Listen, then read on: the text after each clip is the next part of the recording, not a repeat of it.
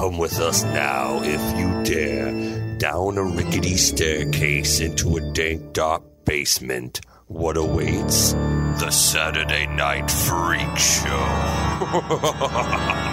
Hey, thanks for listening to the Saturday Night Freak Show podcast, the movie review and talk show podcast that comes your way every Saturday. These are the internet radio superstars. Holly. Sean. Michaela. And I'm Colin. Glad we have that sorted. And Just making tonight, sure. and tonight we watched a movie that was chosen by Sean. Fuck. No. Uh, Michaela. What did we watch tonight? We did our patriotic duty We and watched did. an 80s slasher that was released in theaters.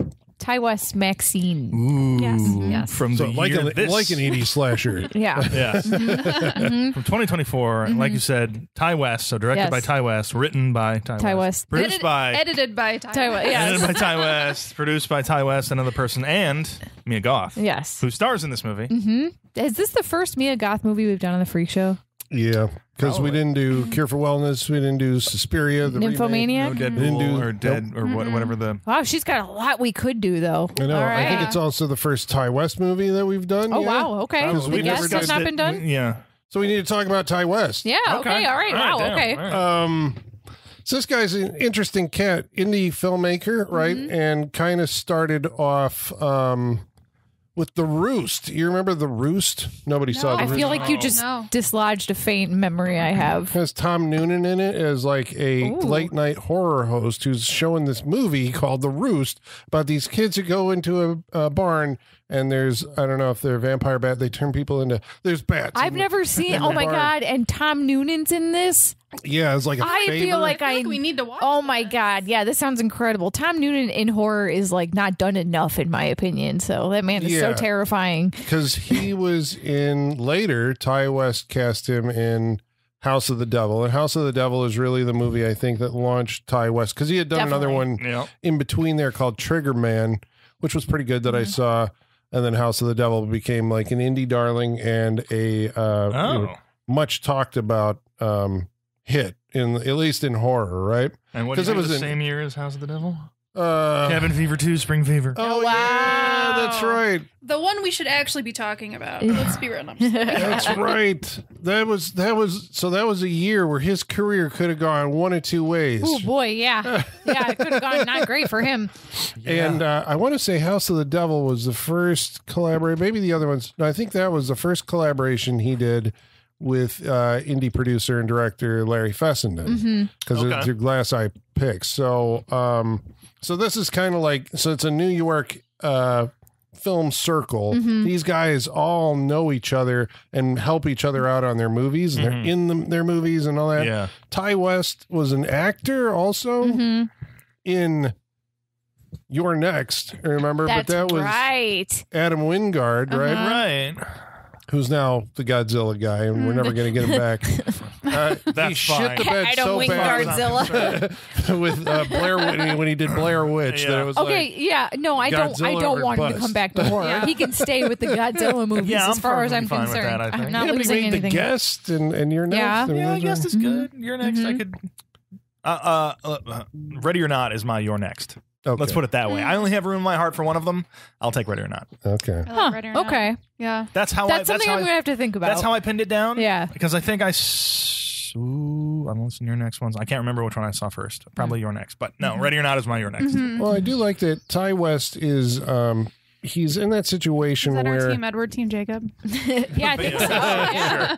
I'm Team Ready or Not. Did you s- anybody see the Innkeepers? Yes. Now, see, I heard a lot about it when it was coming out, but I never saw it. It didn't I liked it. like. Was it good? Yeah. What's, what's it about? If you can give it like vague. it's these two people who um, are looking after this in that I can't remember if it's about to close, but it's supposedly haunted, and then they're like Final days. yeah. ghost hunter kind of, you know, like, oh, we're gonna do the thing Right. about the I mean, you're saying things I like. yeah, yeah. It was it was good, and it was. I mean, I think the movie that he did after um House of the Devil, and somewhere in there he made a movie with John Travolta called In a Valley of Violence, which was a western. I remember that.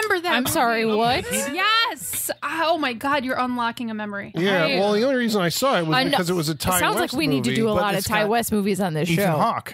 Yes. That's why I remember. I I, Fuck, I you didn't know. remember I that forgot. movie. Trav- is it Travolta's in it? Yeah. He is. I remember Ethan Hawke in the trailer. I don't Oh my god, and Travolta. Karen Gillan is also in this. Yeah. Yes. Okay. Looks like we gotta. Yeah. I have to go back and seek out some Taissa Ti West Farmiga movies. and James Ransone from the It It Chapter Two that is Yeah. also in this. I Toby. Huss. I remember, but I remember who showed up being in Maxine. Yeah. like thrilled with it. But I mean, it was an interesting depart. So like Mm-hmm. his career starts indie, has a kind of defining indie horror movie with House of the Devil, makes some more horror movies, and then is like, okay, I'm gonna go do branch out into westerns. Mm. So I guess my question, since you're looking at his filmography, Yes. did he go from In a Valley of Violence to X, which is He going went to well. He in between He's all done of this, so much TV, in TV. between, like Scream the horror TV. Yeah, Wayward Pines, which I believe was the M Night Shyamalan Yep. show on Yeah. Fox. The Exorcist TV sh- series. oh, yeah. did he? Which I hear is good. Like, Like he did a lot of TV, but yeah, the next film is X. So he's making connections in, in Hollywood then, mm-hmm. Yeah. right? With all Yep. the TV stuff. Yeah. X to me is important because it's an indie horror movie that got a theatrical release and mm-hmm. then it became a hit Yeah. And now has spawned two sequels, Yeah. Which is kind of surprising. Not only got a theatrical release, but got one like post COVID. I, I- you know, like because that That you remember when we thought why. theaters weren't going to open again, Yeah. you know, and then yeah, and then X comes out and does so well. That be, may, may Yeah. be the reason why, because they were just like, we haven't had anything in production forever because of COVID. Like, Mhm. what do we got? Let's put it in the theaters. Mhm. Not to say it wasn't worthy of it at that point, but I think that may have given it like But a Hollywood push. tends to sleep on movies yeah. like that. But it's Yeah. just yeah, I guess like my thought is if I'm like a Hollywood big shot, right, and I'm planning my schedule coming out of COVID, I'm going to put the things like I know make money out, right? Right. So like I guess they had faith and they were right, but that it would do well. Right. So, but it's just weird because it's so much about porn that I'm surprised it was it was was as well received as it was. I think they do a lot in desperation. They'll they'll put stuff like give it a shot, go. Plus he's Yeah, got yeah. he's got a, a strong enough history. where They'll Right. give him that chance. Right, right. Considering the people were just really excited to go back to the movies. there's Right. that, and also, but considering um the I'll say quote unquote star power that was Mm-hmm. in it, because I mean I don't remember what Jenna Ortega's popularity was at the time that X came out.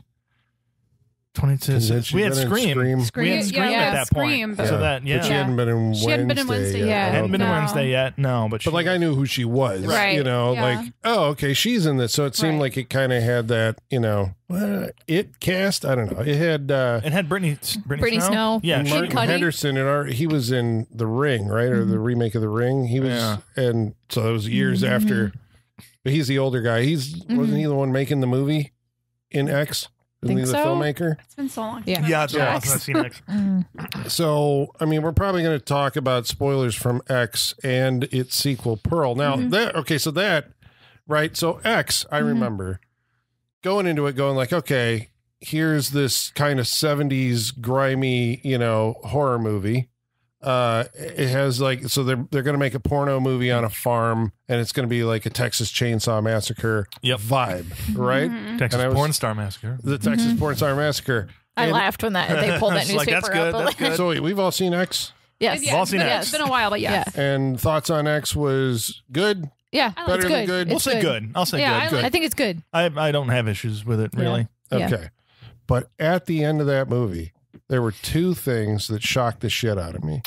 Was it that casting of Yes. the old lady? Yeah. Yes.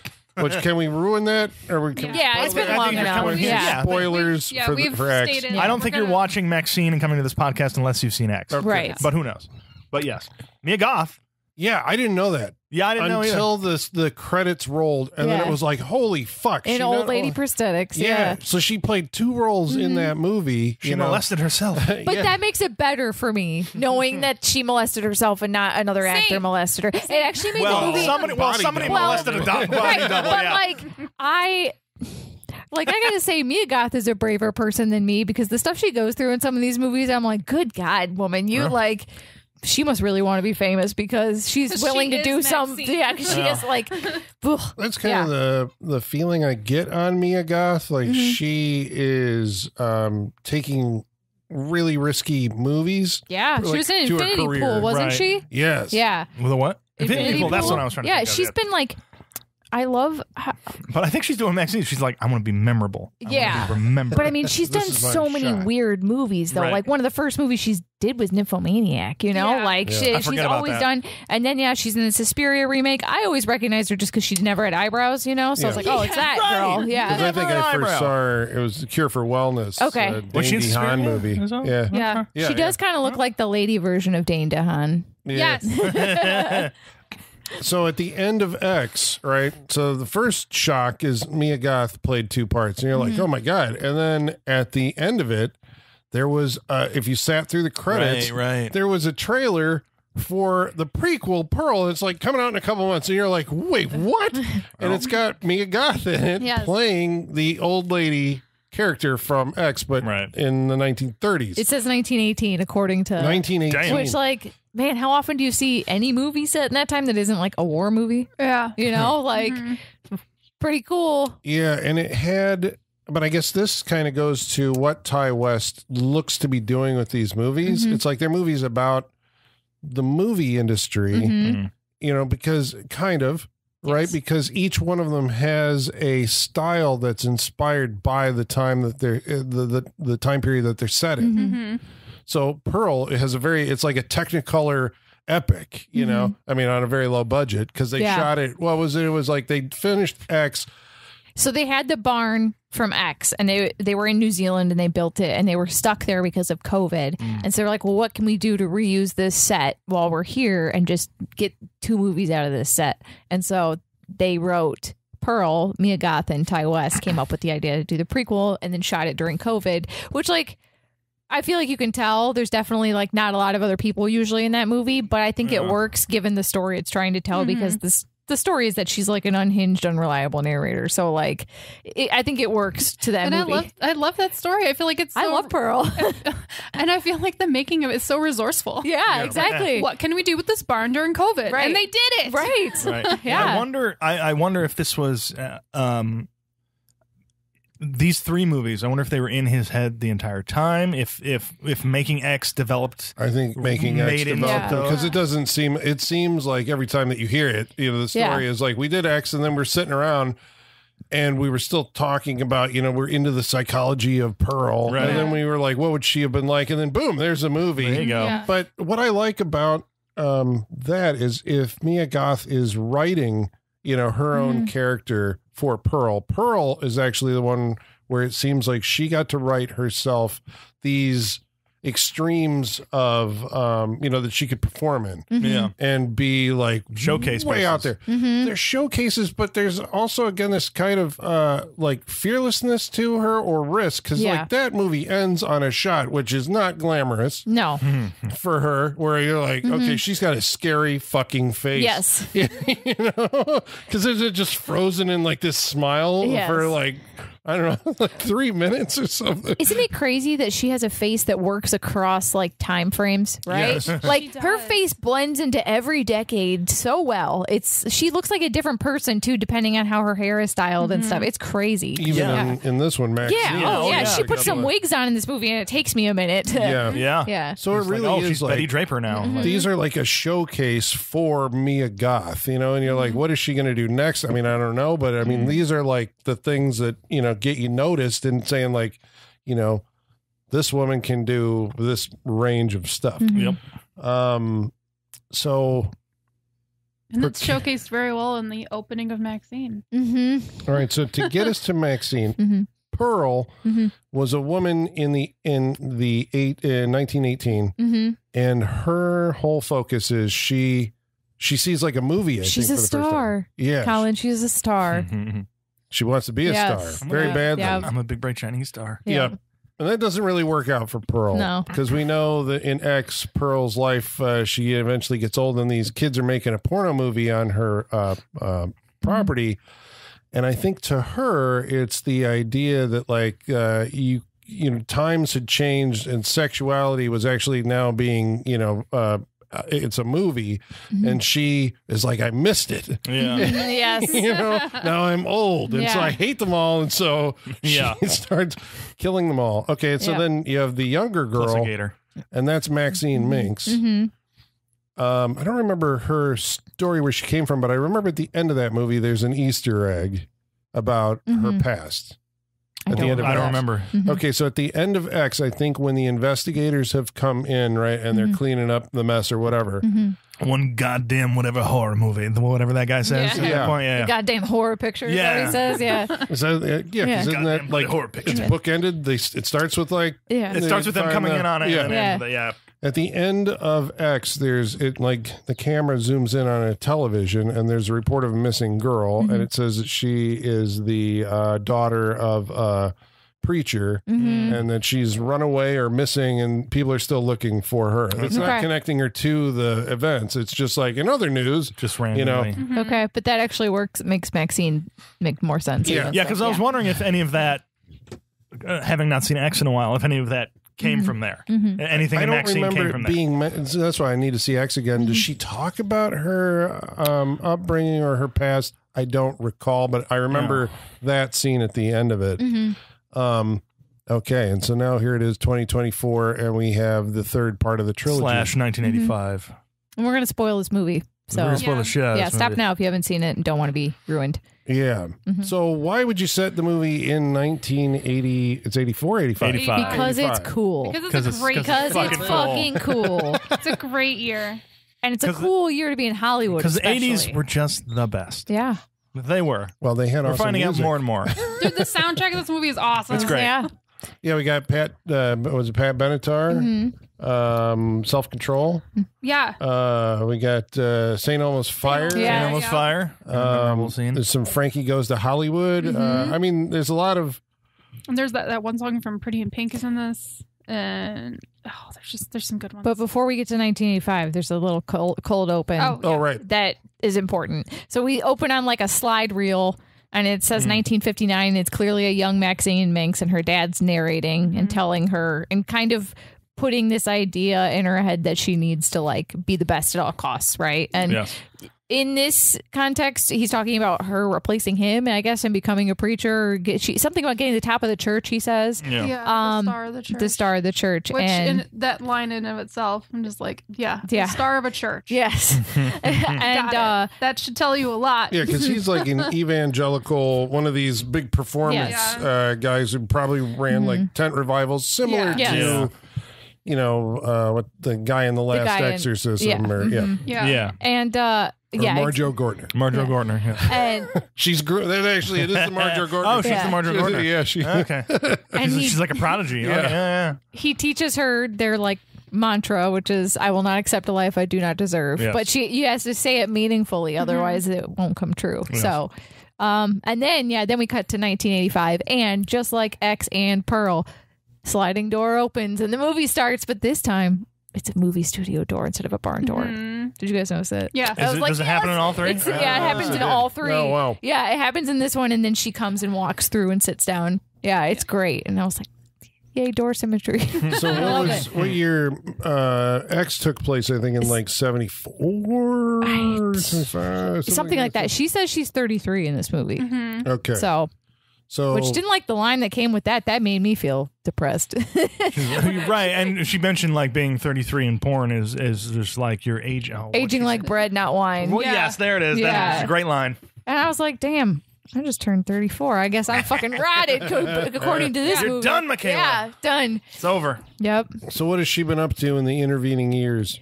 Uh, she's a famous porn actress and a successful one because she has like a nice apartment. She has drives a Mercedes convertible. Yeah. She has she had red bottom shoes at one point. I was like, okay, she's Oh, loaded. right. I dig Yeah. it. Yeah. Yeah. And, And, she's like doing good. And like everywhere she goes, like people know who she is. Yeah. Yeah. She's like a, like Love your work. she's a famous porn star before the internet. So that Yeah. means like Yeah. people have to go to a theater or get tapes from the video Yeah. store to see her. Like Mm-hmm. that's takes a lot of work to be a famous porn star pre-internet. I feel like. Oh yeah. Yeah. Much more work than it does today. Well, they had conventions back in the day. Yeah. They have- True. Yes. True. yeah. Uh, go on. Go, just go watch Boogie Nights.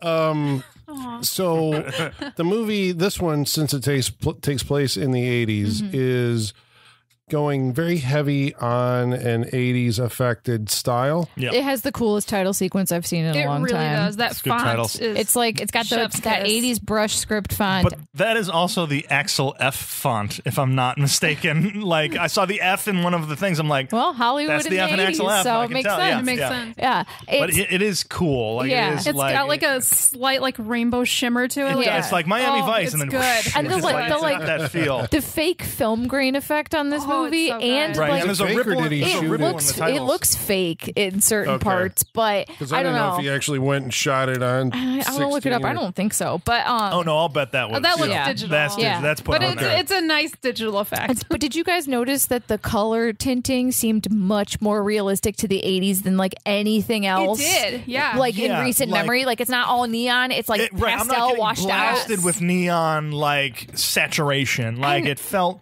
Yeah. it- it's there in certain places, but again, it's not It's like overpowering. acid wash some, film. yeah, like some people are doing today. They're just like fucking brightness and full saturation. She, there's a scene with Kevin Bacon later we'll get to, but like the color in that scene was like perfectly that that like 80s beige and like light blue and Yeah. like that like that all has the kind of smoke stain tinge to it because there's a lot of smoking in this There movie is- too. I took note of that this Thank time. God. Yeah. Um, but it's also it's like it, it's like a, a darker version of everything. Yeah, 'Cause yeah. Everything seems darker. Yeah. I think that, but even like in its, you know, it's like we think of like the 80s, and you mentioned like Axel F and these other 80s movies, but this one's going for like, the, it's like giving an 80s movie sheen to like the the grimier Yeah. side of how, but I guess we Yeah. did see those movies Mhm. Yeah. um, because specifically like Angel A- came to Yeah, mind. Angel came Big a lot. angel motivation. Yeah. Like You know, this- Vice especially, Squad and- yes, especially when it comes to Kevin Bacon. Kevin Bacon's yeah, in this movie. Yeah.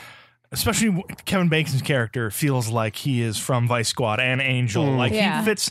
Kevin Bacon has aged into that. he- He's got that old man run in this movie, which I no, love so I think much. Kevin Kevin Bacon is having so much fun. in so this much movie. fun. Yeah. He's like he's got a very specific walk, a very specific run. Like he's Yeah. he's having fun in this. He's movie. having a moment too because I Yeah. think I saw that he's in Axel F and he's in this, and they Oh. both came out I think the same weekend. This one seemed like he was more. You know, sometimes you get those uh, actors get those roles where it's like you get to go and you know just act weird, or you Mm-hmm. get to do like at some point he actually had like the Jack Nicholson the, the He does got the Chinatown. Yeah, he has the Uh, Chinatown. First yeah. thing I thought when I saw him, like, oh shit. He has two gold teeth. Yeah, He does, like yeah, on even um, his canines. I you get to relish. Yeah. He those does. par- He you gets. know. To, he lives in it. He he um uh, he he's, he stews in his own water. You know Yeah. what I Yeah. mean? Like Yeah. And as Oh. disgusting as that sounds, it applies Yeah. to Does, his and character. all of the dialogue flows out of his mouth like molasses. Yeah. yeah, like he's just hanging around in his own juices. Yeah. we say he's, he's a private investigator. Yeah. is Right, this, right. He's the well, I was dick, say, before he we get too much into this, the title Yeah, yeah. sequence is important for setting up Yes, the, the sorry, movie. I yeah, think yeah. because like we've talked about before, how a good title sequence is supposed to like get you acclimated to the atmosphere of this movie. Yes. It's exactly what this title Yes. sequence does. Like Yep. this title sequence serves that purpose, and I need. To, uh, like us as a society to embrace this again Yeah. because it, gets you have gets news clips the- of the Night Stalker Yeah. you The have TV footage Panic, yeah, Satanic Panic that like stuff. it really it literally gives you the cliff notes of what's happening in the culture at the time Yeah. so like Sets the scene. it's a show don't tell sad. you know yeah. it's a show don't tell. I Yeah. love it. So It's solid. Yep. the Night Stalker, Richard Ramirez, has obviously terrorized uh, Los Mm-hmm. Angeles. We're saying this is set while Night Stalker is. Right. Night Stalker's Yes. the backdrop of this yeah, movie. yeah. So Which there is a lot of. Mm-hmm. Uh, Oh yeah, great. Love yeah. it. Are we mixing? You know, is is uh is she going to end up running into him? I guess is the idea. The the trailer Yeah. kind of gave us Yeah. the idea of. Uh, that he's going to be stalking her Mm-hmm. friends. Um, okay, so the setup, I guess, is Maxine now having conquered uh, the porn industry, right? Yeah. she wants to be bigger than that. Although we say yeah, because bigger than the porn industry, she still has to uh, supplement her income by performing at like peep show booths. Yeah, or is which- that She like a does. Is it weird or- that those make me kind of nostalgic? Like put a quarter in. Like I love the like I love the lo-fi nature of it. The you lo-fi what I'm nature of that type of entertainment. Yeah, yeah. It's like you just sit down, put a. I'm sorry, this bitch is only getting a quarter for this. This does Yeah. not seem Right. like No. a good system. Uh, and- but who knows if she gets that whole quarter? like thirty seconds, Yeah, but and then still. gotta keep putting Yeah. in more. Yeah. No, my favorite when we were watching this, my favorite was when you walk into the theater. There was a dude mopping in the background, and Sean leans over and he goes, the, "What doesn't?" He's like, "This place Like- doesn't." He yeah. goes, this place in itself doesn't gross me out. The fact that there's always someone mopping. Mopping, grosses yes. me out. That's the gross thing. Jizz mopper. I- Right, whatever's going on there, fine, don't care. It is what it is. The guy constantly mopping is just like that's what makes it gross. There's a couple background actors like that. I noticed in the, the my second watch this time that there's a scene in the video uh, slash adult toy store later where you see a customer in the background shaking like with two hands a giant dildo while they're talking. and I never noticed that the first time I watched this. Like he does that shit on That's purpose, funny. and it's so funny. That's really funny. like you just see the silhouette of it. You- right, that's like, what you just want. shaking, You you know? layers away Yeah. from the camera. You got your Yeah. star here, you got a background here, and you got, got some guy shaking a dildo Yeah. way back there. It's but like he was you trying to make sure, like you know how like when you knock on like a melon to make sure it's ripe. It Oh, felt yeah. like he was doing Right, something you have like to shake that. a dildo Yeah. to make sure it's stable. yeah, yeah. Same thing. That's how you know it's good. You'll never smack a watermelon the, the same way again. Right. Does her roommate? Is it? Uh, does she live with the Moise, No. Moses Sumney? I think they're just friends. They're just friends. Yeah, They're in he the works at the video store. building? Same- They The- like, the video store store's in the same store's, building, like, she lives next above it. door. Yeah. Okay, all Yeah, because at one point they like watch a movie together, and when they like fall asleep, and he wakes up and he says he's going home. Yeah. Okay. So he doesn't live there. And Yeah. the video store scene, we should say, is shot like a Brian De Palma or Dario Argento movie. Yeah. There's a lot of like leather creaking. There's a guy comes in, Oh, we don't know who he is, Mm-hmm. The in a leather trench coat and watches her in the peep show The booth. sound bothered me more than most things in this movie. Yeah. Yeah, like the, The- just the 'cause it's leather uh, it's- sound? yeah, the Oh, leather God. squeezing, and That then bothered you, me they add the so wood much. into it. Love it. Yeah. It was- that, that's what makes you feel It and was stuff like this. fantastic. it really bugged me. so Maxine, so she has, she's trying to be an actor. She works at, at the peep show booth at night, and then. Mm-hmm. Uh, porn during the day at the, the landing strip. Great, Right, Great yeah. title. Oh, uh, Uh, not the shot like- of the plane going over it's while she by the walks airport, in. yeah. Yes, By Right, the uh, and whatever the door she goes in, what is the flight crew? the flight crew. Flight crew. Yeah, Yeah. I loved it. I love that. Great set design, Yep. and So like good. that. That's it shouldn't be this hard to fuck me. Is what her roommate says Right. when she comes back into the dressing Yep, room. because we walk into a porn being Very filmed. funny. Yeah. They I love when Hi, she. Maxine. I know they're in the middle of filming and she's getting fucked and she's like, "Hi, Maxie." yes. that was funny. Um, and then she sits down at her dressing table and opens a ceramic goose oh yeah, oh my god, that is full of the most cocaine I've ever seen. the cocaine. ever. It was fit- I'm like my mother um, held cookies in that thing. Uh, yeah, and then I'm she takes the tiniest spoon into the Yeah. big pile. Um, so- I looked at Michaela's like, "What? You don't have a cocaine goose?" Yeah, obviously. and yeah, I guess 2024 Saturday Night Fever. cocaine goose. if we did cocaine bear, we can do a cocaine goose. Yes. I mean, that might be more It might be worse. Yeah, I mean, it might be like a more vicious attack. Honestly, I Yeah. like this. Yeah. So it's, it's the 80s. So We she's said it at Rock Valley yeah, College. right. That's what I was thinking. She's always doing cocaine bumps. I mean, like, X was like that the- too. They Oh, were really? doing coke a lot Oh, in. X. It starts Yeah. with them doing it in that movie. Yeah, but and uh, so she does an audition at the beginning of the movie when she I walks through the barn love doors. this scene. Or- yeah, isn't This is she so fucking good. kills She it? kills it. And she It's tells so everyone good. so as yeah, well. I oh I yeah, fucking nailed it. you bitches might as well go home. I, Yep. I She changes it. her accent and Yeah. everything. It's one of those like if you write the movie for yourself, you're Yep. writing to your strengths. yep. Um, she's trying to get cast in a low budget horror movie. The Puritan too. Yes. The, A the sequel second, to something Yeah. that had been pretty big Yeah, at, at that Yeah. point. Yeah. Mhm. uh, this one has a woman director, so Yes. it's played by. Elizabeth Debicki. Love her. Love Yes. her. Love this. Great. Love her in this. She's great. Yeah, So her role in this, right? Because she's one of the main Yeah. characters who shows up throughout the movie, is kind of like mentorship. Yes. She is trying to guide Maxine because I guess they, you know, based on the audition, they're going to give her a shot in this movie. Yeah, but she's And- and, she's coming from an area of just like, look, you're a woman getting into this. It's hard. I know Yeah. it's hard. I'm I So am don't where I fuck am. it up. So don't fuck it up because they will take any excuse for you to not be Mhm. here. I will also take any excuse to get you off this if you are not going to be at my level. Yeah. And the fact that she's British just adds to the whole thing. And like, so, so tall. like, I'll fucking listen to She's so tall. Right? So tall. so Yeah. much. The actual name of uh, Kill me what your is it? Thomas. the the woman who directed uh, Slumber Party Massacre. Oh yeah. Amy. Yeah. Crap. I'll look it up. I'll look it up. I'll look it up. But I mean, there were women making horror movies Yes. Oh, back yes. back then because I think even you know I mean, Pet Sematary was directed. Mary Yeah, Lambert, yeah. yeah, Kathryn Bigelow did Near Dark, Yeah. uh, but I mean for slasher movies, uh, you know, um, oh man, I should know her name. You should, Colin. God damn you. it has escaped me, but and because did she do Strip to Kill also? Anyway, She did- diversion. this uh, character is Amy the- Holden Jones. uh, Amy Jones. Okay, Amy you go. Jones. Yep.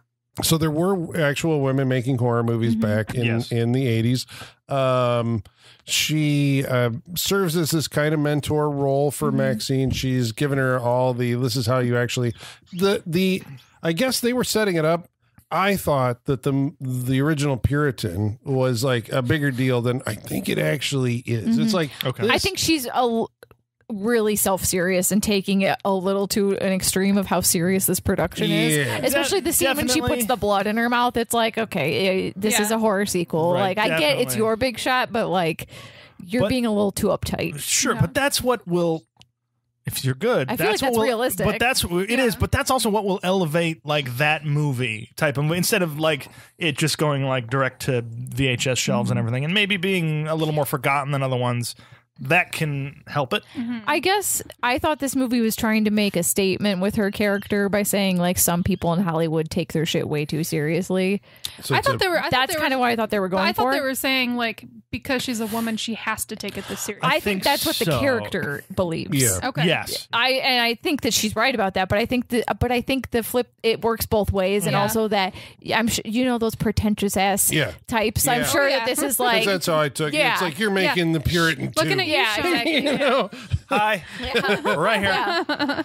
I do not run away from pretension. So I guess it's good that she gets she gets the the role. Maxine Yeah. gets the role. Um, but her life becomes complicated uh, with the arrival of a videotape, right? For Maxine, And on that tape uh, is footage from X, right? Yes. The the porno film that she filmed in 1970. Because not so much that she was in a porno movie, it's that Evidence it connects her. Yeah, it's evidence Right. of these murders that Yeah. she was there. right. yes, And so someone has figured out that she was part of this and the sole survivor, Mm-hmm. and uh, they're trying to track her down. hmm And so who? via Kevin Bacon, By Yeah. Kevin Bacon. via the bacon. Uh, she so when she's clocking out from work one night, she talks to Halsey, who's also in this Yes, movie, yeah. Yeah. uh, for the scene that is like it's literally the scene in the trailer, guys. That's her only scene in the movie. Like I don't know, like d- like got a, she. uh, uh, a leading up to a murder scene, and she is yeah, a corpse later. uh, but, yeah, but it is but her. that is her the scene. scene in the Yes. movie. Um, where And she, she does good. She's good. She got the good Yeah. good accent for it and everything. And the she talks singer, if you don't know who Yes. Yeah. Is. Yeah. Yeah. Yes, and she talks about she's also like a fellow sex worker, and she talks about how they get they're getting invited to these house in the Hollywood Hills, and her other porn star coworker mentioned this house too. It's under the Hollywood sign, so all mm-hmm.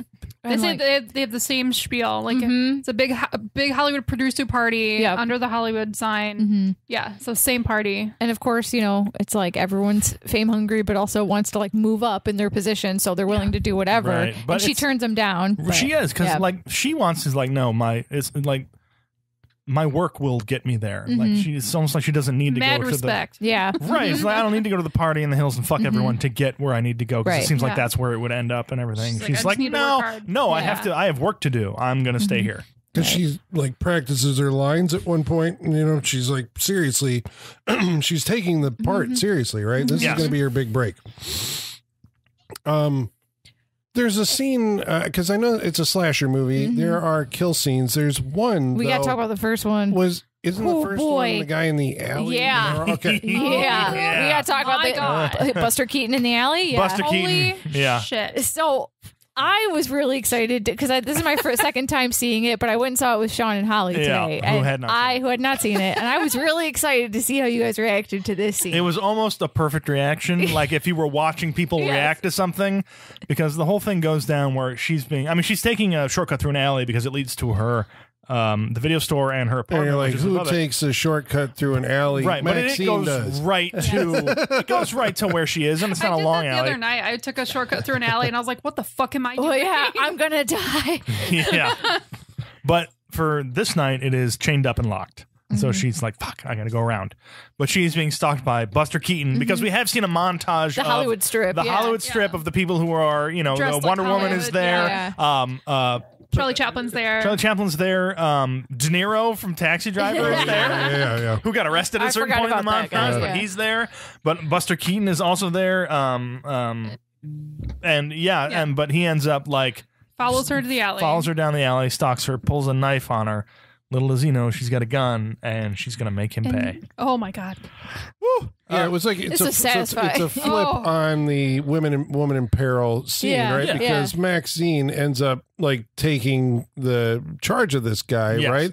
And forces him to strip. and then forces him to suck on her gun barrel. Yep. And then lay down, uh, face down, ass up, Mm-hmm. although not so far up because of what happened. Yeah, because I thought she was going to rape him with the I gun thought barrel. so I thought so. too. With the ass up line, I thought, Yeah. I know where that gun's going Or- next. Yeah, Yeah. I, Going and into I was Charles like, don't Bronson like that. territory. Yeah. Yeah. and then it went better than I expected. Actually, it went a different direction. but Better, I was okay. quote unquote, we'll say. Well, I mean, I- it is better, but it also subverted I- my also I hurt. expectations. What did she say to him? She said, "Do you know what happened to the last person that tried to kill me? I fucking crushed her head in." And Yeah. then she stomps on his balls with her stiletto. And they break. And we see this And in we close see up. it. So, Yeah. Okay. And me and Holly, it, it's only, we just oh, like auditory oh. Yeah. Yeah. Like I'm a girl and I felt sore. Yeah. Oh. This was Oh. bad. Well, this is one of those moments that, I mean, it's early Yeah, enough it's- in the movie It's that. not just yeah. It's a 'cause tone setter. It, Yeah. it's, it's not just like oh she steps on his balls. No, it's a You close see up of her heel Yeah. stabbing his nuts, And then the aftermath. Yeah. and it actually like come like it pops out. Like Yeah. it's Yeah, it is. disgusting. Yeah, it So is. it go, is- it's like uh, How do they get like- away with this? It's, Yeah, it's like um, God. um, Hostel Two, where she cuts it off. Yeah. And the one, Oh. it's like that. oh. But do they get away with it because there is Oh. like there it's not it doesn't read to me as um you know it's like is it maliciously cruel it's like there's He it's it's like it. Dessert. it's Quote, like a black it. Quote, unquote, comedy bit maybe or no If there's some black comedy I to the movie yeah. I think There There is. There, There definitely is. Yeah, is. that I think allows it to go over the top. Mm-hmm. So that's Yeah. why it's seen as like this cumulative. It's not like the ratings board Well, like, like, Michaela, you can't do there's that. there's so much satisfaction in watching this scene. Like it's it's not that it's funny, it's that it's like fucking finally. Yeah, Right, yeah, and I- like yeah. the woman finally like takes charge and attacks the dude Yeah. because he's a yeah. Like Right. it's it's so satisfying. It is, and but I think if if the MPA is doing their job and they're looking at violence in the movie, if it if it's deserved, if it will do something character wise, if it will push a character forward, this is a tone setter for Maxine for the rest of the movie right. in Yeah. what she will take. In take, case you didn't see the other won't. movie, Right. this is establishing who she like is. what her Yeah. attitude is about not letting anybody stop her for any she was reason. instantly my hero. Yeah. Yes. Yeah. and that is a big setup for her character in the movie. Mm-hmm. And I think you get away with a lot more if it's in ser- if it's not just wanton violence. Then I, if it's in service of a character, I think it goes a lot farther, and people will forgive that Mm-hmm. more. And I think that is what this does for her. Okay, then some of her friends start dying, right? And All of her friends. they're, Yeah. they're branded, but the I guess the thing that they're all branded with a satanic with a pentagram. Yes, yeah. and um, Hail Satan. right. So we're into that. You know, this That's is for a the different movie. was that the calling card of the Night Stalker? I know, like he Oh, had a and his satanic. hand- in his hand. Wasn't Did it he- carved in the palm of his hand? Yeah. See, I don't remember Yeah. specifics of the Night Stalker. To, to I just remember the the chase through Hollywood Yeah. or whatever to get her. Yeah. Los right, Angeles yeah, to yeah, get that, her. that, that famous story. I don't remember how much Satanism was involved within his killing. It was, yeah, I think it was very like he, w- all of his crime scenes Okay. were, you know, in mm-hmm. service of Satan or whatever. Um, in service of Didn't he get caught because he dropped his ACDC hat at a crime scene? right? Maybe Pretty sure that I remember that was was a big part of it, yeah. yeah. ACDC fucked him and, over, the- man. and then fucking L.A. came to life. Yeah, and, and united. found- united, and took this man the down. documentary on that. It's is gr- it's a great story. Yeah, Yeah. it's such a good story. Yeah. Right, if you ignore all the mm-hmm. you know innocent lives lost, but yeah. I mean, Yeah, yeah. but this takes place while he's still at large. Mm-hmm. Yeah. So we're assuming then that the Night Stalker has something to do with it. Although the movie does, if you're paying attention at all, keeps on dropping these.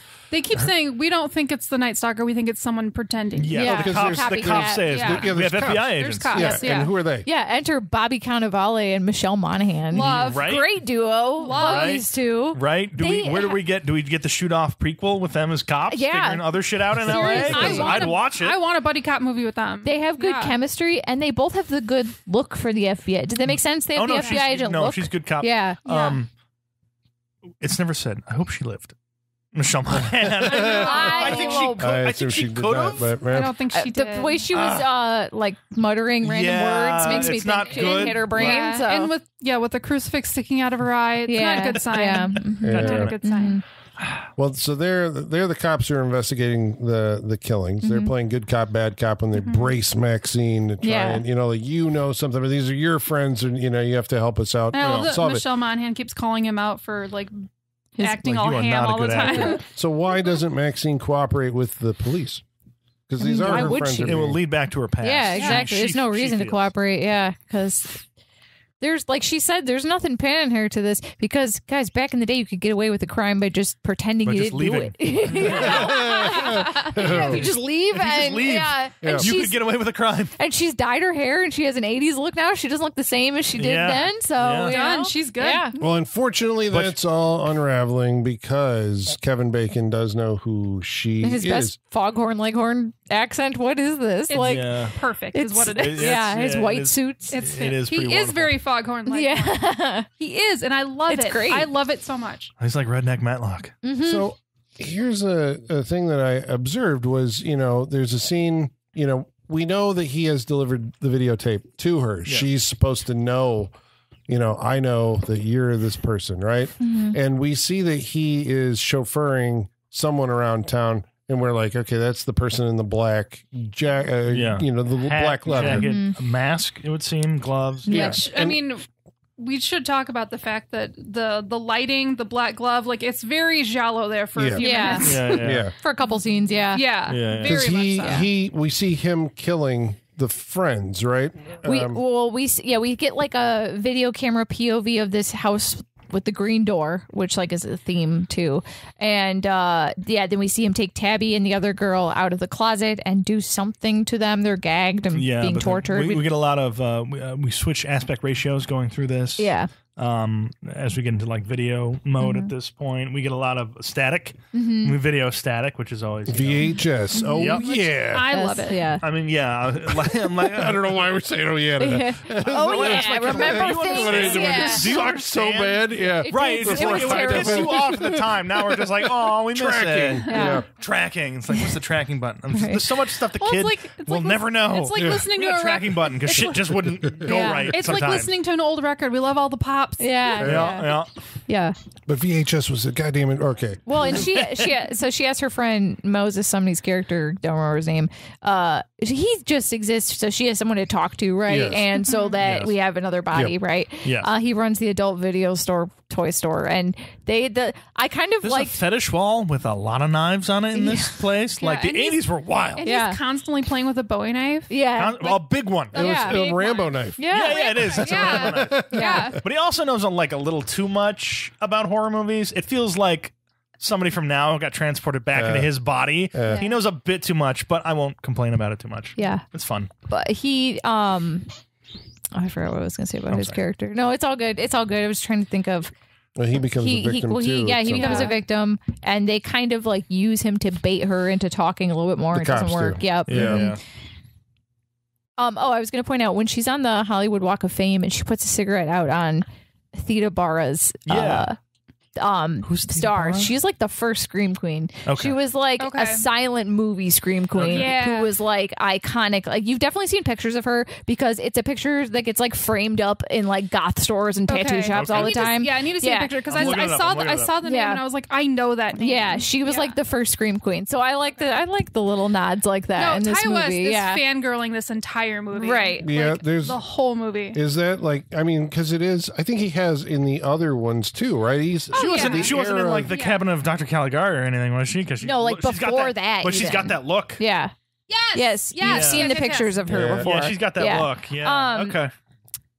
We need to talk about Oh no. Giancarlo Esposito in this movie. oh right, yeah. We Teddy haven't even mentioned Knight. him. Yeah. Teddy Knight Esquire, Sean Esquire, Esquire. doing his best. He's like, I'm gonna channel a little bit of Better Call Saul right now, Yep, just a little bit. He's killing it. he's He's Maxine's entertainment doing lawyer. The Love best. him so much. The hair. The most alone. ridiculous hairpiece, but I love it. Um, I, I love this man. I would trust him with my life. Uh, he's just doing wonderful things. This made me think of Angel. This character, this feels Yeah. like he would be an angel because the way he talks to her, he's like, "Don't you worry about anything other than crushing that movie. I'll the- take care of you." Like, and the way he was like, the way he was saying that he's going to take care of her, I was like, please don't make this turn around Yes. and make him be the bad guy. Yeah. Yeah. don't I'm don't make him be loving him- sleazy in Yeah. I'm any regard. him so much, and like he, the whole movie, he genuinely is just He really is. So looking out sweet to her. which is her. that is Yeah. th- that does have so satisfying. feel, Yeah. you know, like they, It yeah. does. It- Yes. it really, especially later with the scene with Kevin Bacon and then the the bodyguard from Yeah. her strip club. It's like what are I was like, what does he oh. say? What are agents for? yeah, yeah. Yeah. but- Just like, yes. But he's doing Love all the, this man. He's doing all the classic agent stuff, like walking on the treadmill while talking on his headpiece, and Yeah. like, but in this ridiculous wig. And I like that Giancarlo Esposito gets to be menacing as always, but Sure, yeah. funny and charming Yeah. and have some levity. Like he's not just flat and menacing like he is in a lot of things. Right, He's yeah. still menacing, but they have are all these actors, you know, that we're talking about. Big stars in this Michelle movie. Monaghan, Yeah. Kevin Bacon. You know, Kevin Bacon has a bigger part, I Yeah. guess, than uh,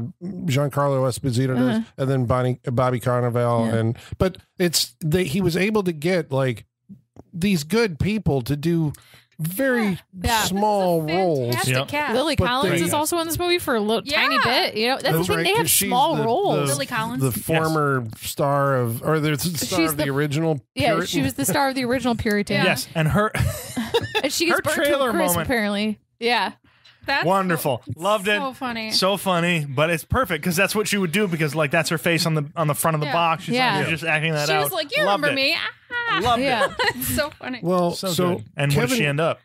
yeah. Yeah, and we know that Kevin Bacon is in the employ of whoever is has wanted to Yep. track uh, Maxine Mhm. down. Okay, so then, um, Kevin Bacon delivers a letter to her that basically tells her he gives it to her at the meetup in the Yeah. Mhm. restaurant, right? Mhm. Yep. Because I guess I was confused from a plotting point of view. I'm like, why is he still here? What is Right. Kevin Bacon's interest in staying in this movie after you have located the girl that your employer wanted you to find and you've told her go to the hotel? Right. But he sticks around and he keeps on following her. There's a very cool scene where uh, there's like in the Hollywood backlot. Yeah, They this have the a foot univer- chase It's the at the universal backlot. Yeah. the Psycho House. Yeah, Yes. It's amazing. There is- They go through there Stars is- Hollow, There is yeah. a, there is a right around the corner from this. There's a lake with a Jaws animatronic shark Yeah. happening and everything Yeah. like this. I I love an L.A. set movie. I love an mm-hmm. L.A. backlot movie. Yeah. So this is just like Larry catnip Fessenden is the security Yes, guard. yes, that was Look at great. that. I'm like, who the fuck's the security Yeah. guard? Yeah. I didn't catch We're it. from Habit. Yeah. Right, right. Yeah. I didn't catch it as we were watching it, but I'm Oh. like, they keep showing. I'm like, I know this guy. Like he's somebody.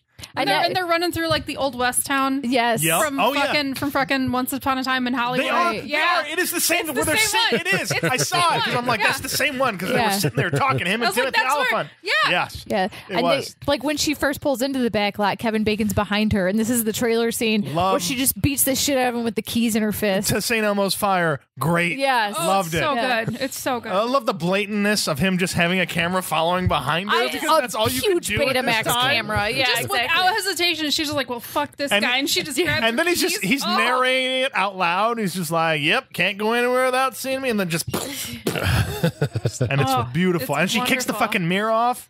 That was the best like parting shot, kicking that mirror off like that. I Like, felt yeah, that. that's the rage. fuck yeah. you. I'm going. Yeah. Like wonderful.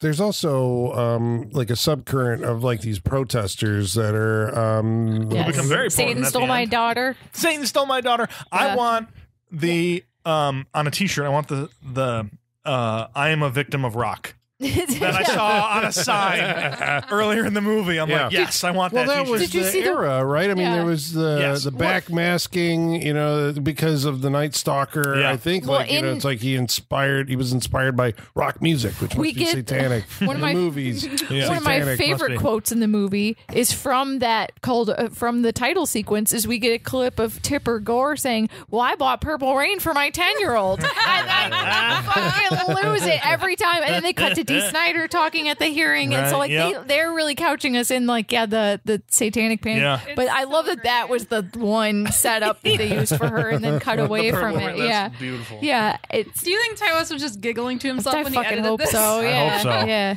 Well, there's uh, more subsequent murders. I think I don't know how many there were in total, but it's everyone who has been invited up to this party in the hills. Yeah. she's been given a Yeah. So direct it's- invitation Four of her friends from Yeah. uh, Kevin Bacon. Go to the party in the hills.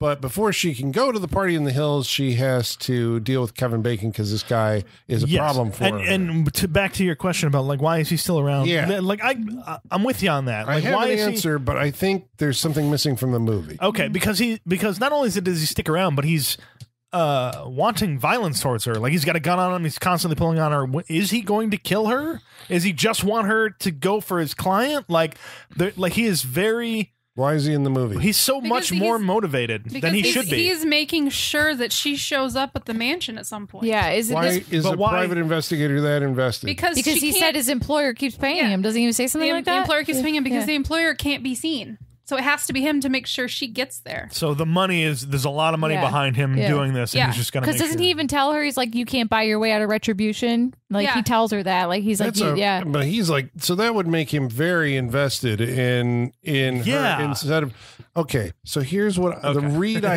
had on it, but I don't know if the movie conveyed it, and maybe it wasn't there. But I think you know she's a porn star. He wants to fuck the porn star, and he's a sleazy PI. I didn't get and he- that at all. The only reason I have this is because eventually she figures out, well, the way I'm going to lure this guy is I'm going to give him what he wants, and I'm going to go to this club and seduce him, and he follows Chase into a trap that she sets. So it's like that plays to the idea. But he went in with a gun in the bathroom. You really think I- that he was seduced in that moment? I, think he was seduced to follow her into the bathroom. I- but he goes into what- the gun with it goes in the bathroom with the gun, kicking the door in, saying he's going to get her. Yeah, I don't think there's anything sexual about it. Yeah. Okay. I I think I agree way. with Holly. I don't Yeah. feel any Mm, no. sexual motivation. From Yeah, I think this it's really- character. I think if they gave him that, he would have been scummier. Yeah. you know Yeah, but for i think that would have also i mean i think that still would Mm-hmm. lead to where we Yeah. go with his We- character well, Yeah. yeah, we, di- we didn't need it because I mean, at the end of the movie, we, when we find out why the killer couldn't show his face, we're like, yeah, he needs a proxy to be there to mm-hmm. constantly Right. push her towards the mansion. right mm-hmm. because she You- you- won't go on her she's savvy enough not to go mm-hmm. I mean, on would you her go? own vol- Yeah. volition Right, but I understand what you're saying because you would think there would be a limit to his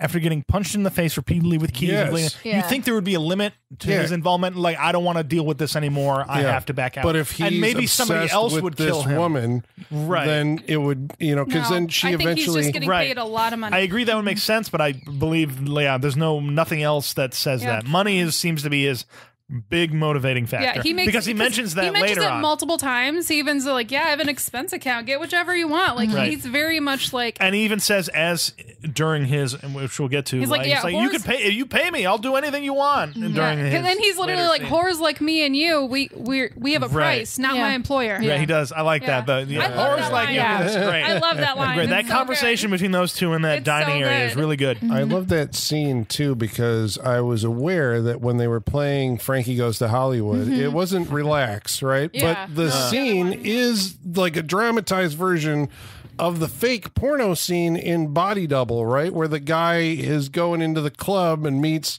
the porn star at the end of it and they're playing like similar music and I'm like, "Oh shit." Um you guys remember that movie? I So- don't think I've ever seen Body Double. we It's want been, it's been on my list. Oh. We Yep. talked about it. Did, did we watch it? I th- who's in it? Um, Craig Sheffer, Melanie Griffith. I think you guys It's a did Brian it. De Palma movie. I- Like What a long time No. ago, maybe? oh man, you haven't seen Body? Okay, I don't think. Sorry, I don't so think we may. I'm not gonna I don't think- I don't that, think any of so. us were here. that's one of my favorite Brian Yeah. De Palma movies. All I think. What I was feel the like- Michael Caine I feel one? like I looked that Dress up. to Kill. That's okay. Yeah, because I feel like I looked that up to do it, and you guys had already done it. I think Yeah. you guys had done it. I don't think any of Yeah. us have been here. Sounds like it needs to come back. Yeah, That's why. Yeah. Um, okay, Right, for but those he- of you who have seen it, I think there's a But- call out to it Right. in this movie. But they do go to a club.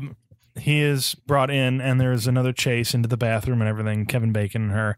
Um, wow, where they end up in the at the back of uh, of the club. yeah. Yeah. and uh, which is uh, you know turns out to be a setup. He gets clubbed in the back of the head by this guy, and the, bouncer, fall, yeah. Oh, the, f- fall. the fall off the loading dock. Face yeah, yeah, plants. yeah, yeah. Boom, Oh, loved it. We, we all went ooh, he like Yeah. slaps the pavement. yeah. It's, It's oh, like yikes. and so he ends up what?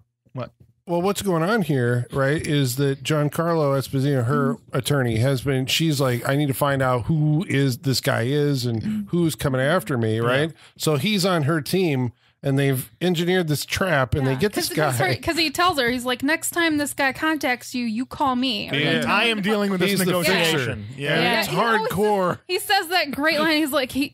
Uh, he thinks he's the big bad wolf. No, I'm the big bad wolf. Yeah. wolf. Oh, it's I'm so the good. one who knocks. Is I mean, I basically get what he's everybody saying. saying. says that, you know, to be a big badass, but they're But actually he like proves prepared it. to He go the the distance. Yeah. So yeah, he- the way Kevin Bacon's story went surprised me. yeah, it big was time. surprising because you don't know where it's going to go, but Yeah. the fact that he keeps coming around and just like, okay, this is going somewhere. Mm-hmm. It does. Like he ends up handcuffed to his car in a, a car crusher. Yep, and, And he, he gets doesn't car get out. crushed. He doesn't get great. out. Yeah, and I didn't know if he was gonna. Like, I didn't know if they were gonna do it. Yeah. Like, if they would If they stop would at the last it, minute. yeah. And, Nope. yeah, nope. They just crush him, and he. and that's and that's the great line. He's like, well, what are agents for? Yeah. Like, what are agents for? 'Cause he And tells her- he's fucking smokes. he he's like, tells her to go home and they'll Yeah. clean up. Like, so "We'll nice. like, I fucking love you, Giancarlo Oh, he's so This shot of the three of them is so cartoony but so great because she's I- there in her jacket and her cute little boots. He's smoking in that suit, and then and you the, got the guy with the dogs. the, the typical like fucking bouncer with two junkyard dogs, Yes. like literally like cartoon junkyard Like, dogs. it's- It's just- he's literally just standing there like he's just had the worst day. yeah, like but the, the shot is it's it's it's profiles of them but li- staggered and Yeah. lined up like it's static i wanted it to move a little bit but uh, it's just it's a good shot of Mm-hmm. Yeah. Mm-hmm. them just as this whole it's thing goes down I find th- her fashion to be very realistic. Does that make sense? It like is. she's she's not just wearing fucking like neon workout gear. Like No. everyone she dresses everyone up did when the she needs to she Yeah. dresses up for the right for the thing she, specifically that she's doing Right. and when she's comfortable she's got jeans And some like a crop sneakers, top. Yeah. and, and a Yeah. fucking Like- like, and her her Her uh, jacket. uh, her set jacket Yeah. Yeah. which has got her name on it Yeah. yeah I love it. Mm-hmm. style is, the mm-hmm. style is great mm-hmm. Because a lot of, like the stuff that she was wearing at home, I was like, that's stuff I wear to bed. Right. Like right Right. I need H and M or somebody to just do like the Maxine oh clothing line. So I'll buy it all. Bring it like, back. yeah, I'll buy Right, it you all. so right. Maxine work, Maxine casual. Yeah. Like- Yeah. yeah. Oh, I love it. It's do so the good. Maxine line. So eventually, then I think with him out of the way, she goes to the. Uh, what was the motivating factor for why she Yeah, was like, "I'm going to go to She the does party"? eventually listen to Michelle Monaghan, or it comes back to her. It's like well, in because when they have the they, con- the, well, it's they the confront each other. director. The director talks to her, and she was like, "This weekend, go out and have some fun, and you take care of whatever's keeping you from this movie." Right, whatever's fucking And she it says, up "I with this. intend to." There's yep, there's Yeah. that. Whatever's distracting her. And Yeah. there's a final conversation between the cops, between Cannavale and Michelle Monaghan and her. Um, I think sh they bring her into the morgue and unveil her friends who had been there. And she takes a, a route in still not helping that is just um, because Michelle Monaghan says, like, help me save the next girl. Right. And she gives what I think is uh, a defining it's a definition of her character which is just like maybe she should help herself. I did. Like and that's how she's been going about this. Yeah. this far. She's like i have done this. My i have survived. I have worked and i have gotten here. They find i don't know why they find um later on they find a softness to that because she relives that conversation and decides that's when she decides to go up to the mansion Okay. to figure out what's going on But here's the thing: Why do Bobby Cannavale and Michelle Monaghan think she knows anything?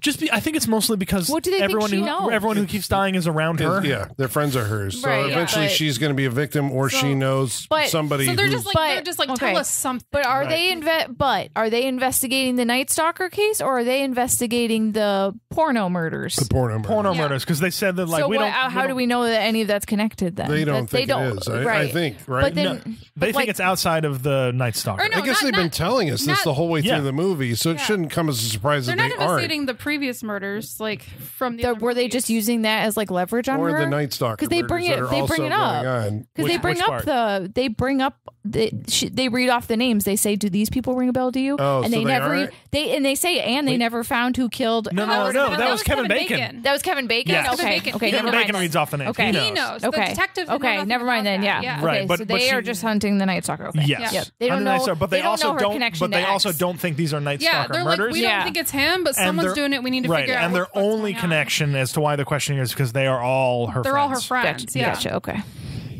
So, big mansion in the Hollywood Mhm. Hills. Yes, she decides because she got that note from Kevin Bacon. She decides to finally go. Mhm. Yep.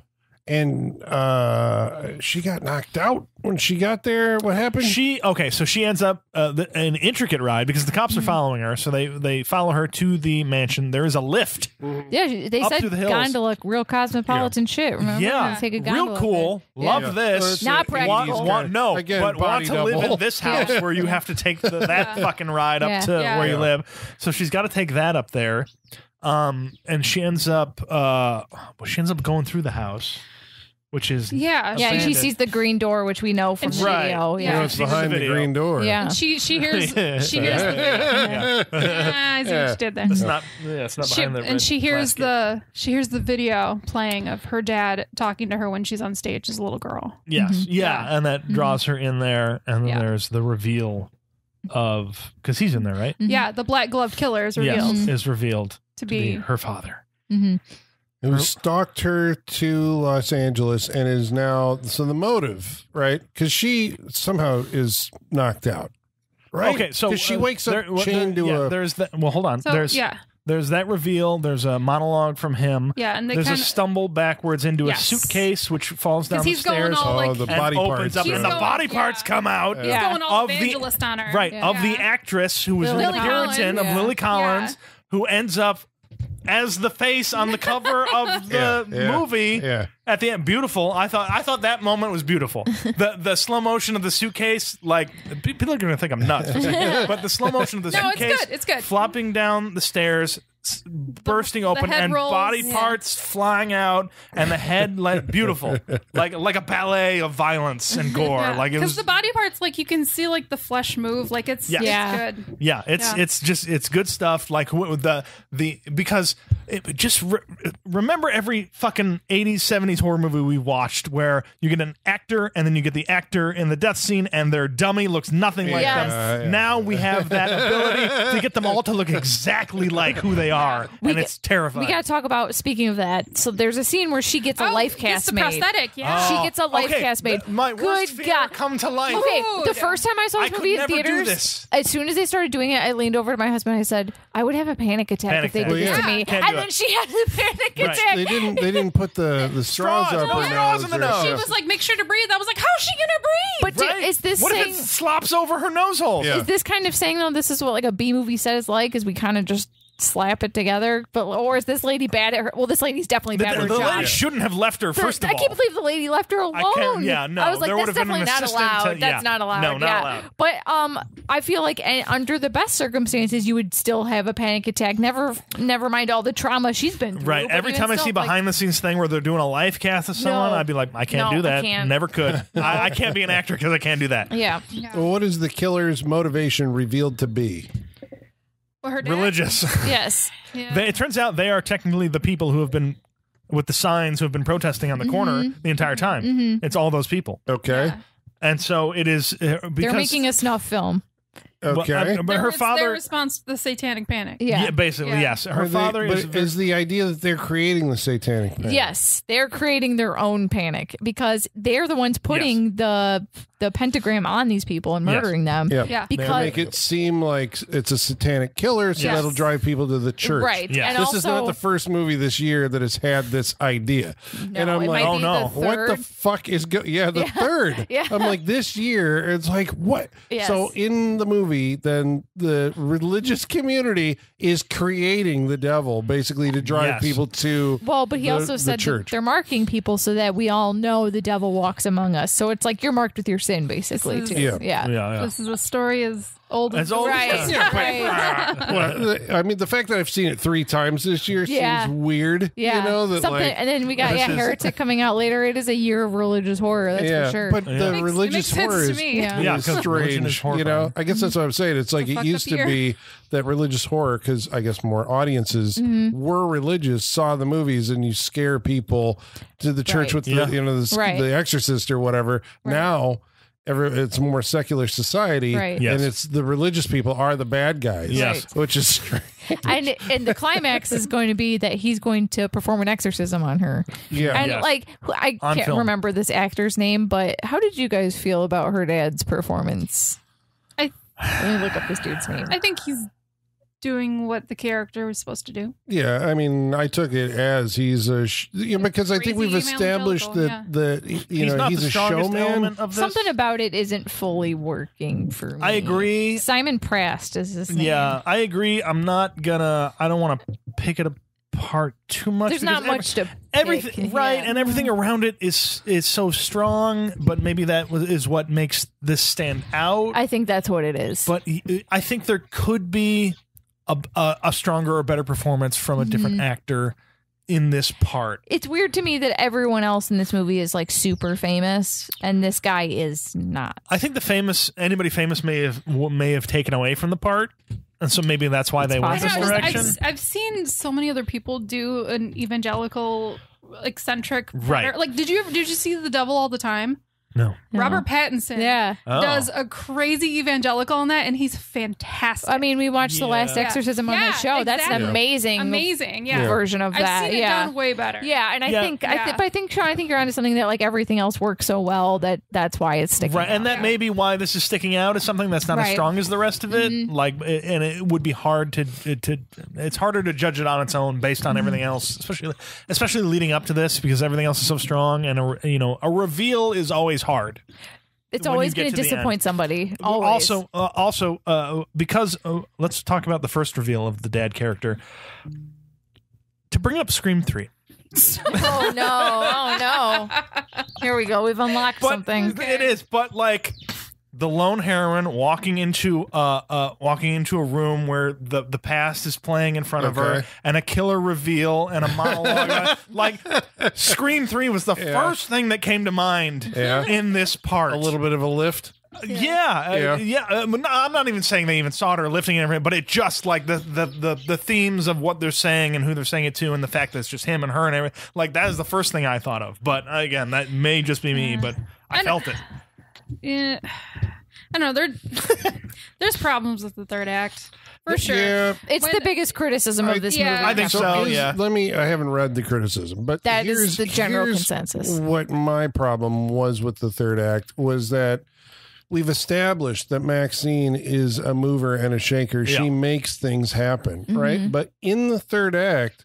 she's like neutralized. She's chained up, and you're like, well, how is she going to somehow, you know, get out of this? Mm-hmm. yeah and it's a Deus Ex Machina happens. The police show up and they shoot people, and she's able to escape. But even then, it's But like we knew they were police were following her though. uh, I know they set that Yeah, up, but yeah. it's like Right, but they they come in, shoot everybody. It's a big Mm-hmm. shootout. So now Maxine doesn't have to deal with a whole bunch of cultists, and then she goes in pursuit of her dad, but uh, he shot uh, Bobby Cannavale. Mm-hmm. Yeah, And then yeah. in the end, I it's liked like- his, I liked his ending.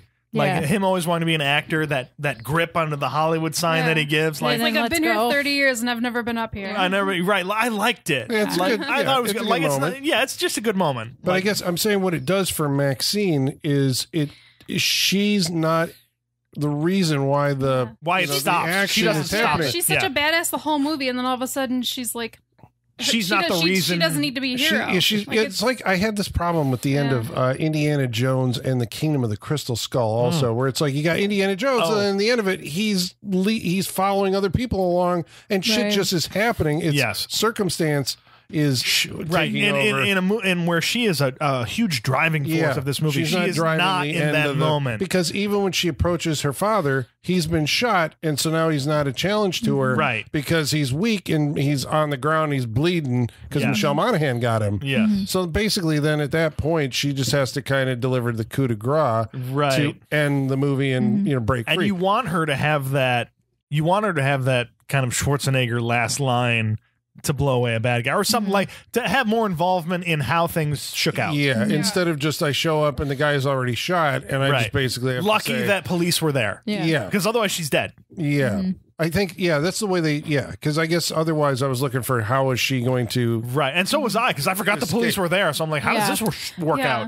There's a sequence that happens uh, as she's standing over her father with Yes. the gun, Mm-hmm. and uh, she imagines, I think, uh, the premiere of Puritan Two, and it's like a big Hollywood premiere. like she's on like Good Morning America, basically talking about With- it. with and her good vision. hair. Yeah, Yeah. yeah, and and Teddy Knight, her, her right agent, sitting her. right Yeah. next to her. yeah, Yep. yeah, and she has become mm-hmm. a star. Not Right. only because she's in the movies, but because she took down the Night Stalker. Which I mean, if you, Well, no, not technically, but they, Well, they talk in- about the Night Stalker, and it's like you took down a serial killer of your own, and so it, they, I'm talking about her fantasy thing. In the fantasy eh, they yeah. do that. They it's do. not the Night Yeah. Stalker. Yeah, they say they, they say like, oh, the Night Stalker was taken down. And in other news, we've got another person Yeah. who took down Right. a serial mm-hmm. killer. Yeah, But also when she, but when she's on the red carpet, they say, "How does it feel to be the star of like the number one movie and also the one who took down the Night Stalker?" I don't think they say Night Stalker. they don't say that. Okay. No, Yeah.